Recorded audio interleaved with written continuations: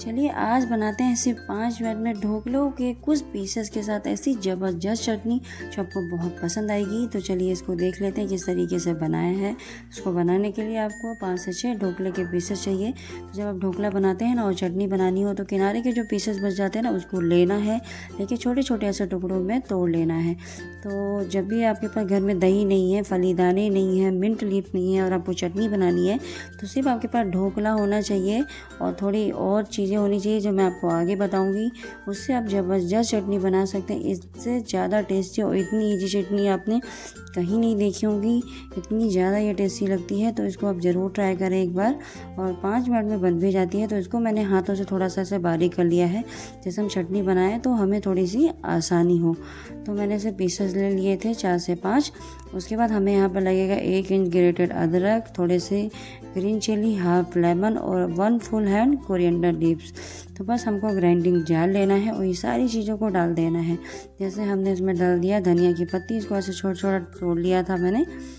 तोड़ने के बाद इसमें सारी चीज़ें डाल देंगे। ग्रेटेड, जिंजर, उसके बाद हरी मिर्च, जिंजर हरी मिर्च लेमन जूस ये सब चीज़ें आप डालकर बनाएँगे ना तो ये चटनी इतनी ज़्यादा टेस्टी लगती है।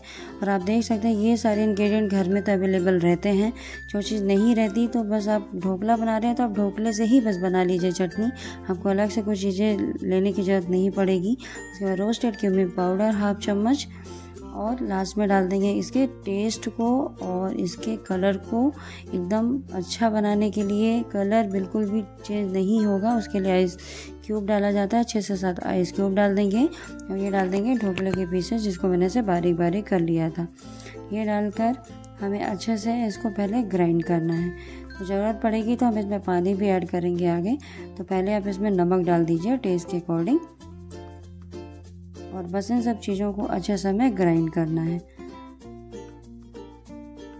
तो अब ये देख सकते हैं, मैंने इसको ग्राइंड किया है, ये अभी दरदरा है तो थोड़ा सा पानी डाल देंगे और इसको बहुत ज़्यादा पानी ना डालें थोड़ा सा पानी डालेंगे, इसको अच्छे से हमें ग्राइंड कर लेंगे। और ग्राइंड करने के बाद मैं आपको दिखाती हूँ कि चटनी कितनी ज़बरदस्त बनती है। तो आप देख सकते हैं, कलर कितना बढ़िया ग्रीन आया है। ना ही बहुत ज़्यादा मैंने धनिया की पत्ती यूज़ की थी बट सा कलर देखिए, बिल्कुल भी पीला नहीं हुआ है ढोकले की वजह से। एकदम ज़बरदस्त क्रीमी चटनी आपकी बन के रेडी है सिर्फ़ पाँच मिनट में। तो जब भी आपके पास कोई इंग्रेडिएंट्स ना हो तो ढोकले के पीसेस उठाइए, धनिया के पत्ते उठाइए और झट से बना लीजिए पाँच मिनट में। ये क्रीमी टेस्टी हरी चटनी जिसको सैंडविच ढोकले, इडली, सांभर में खाने वाली चटनी, हर किसी में इसको आप खा सकते हैं।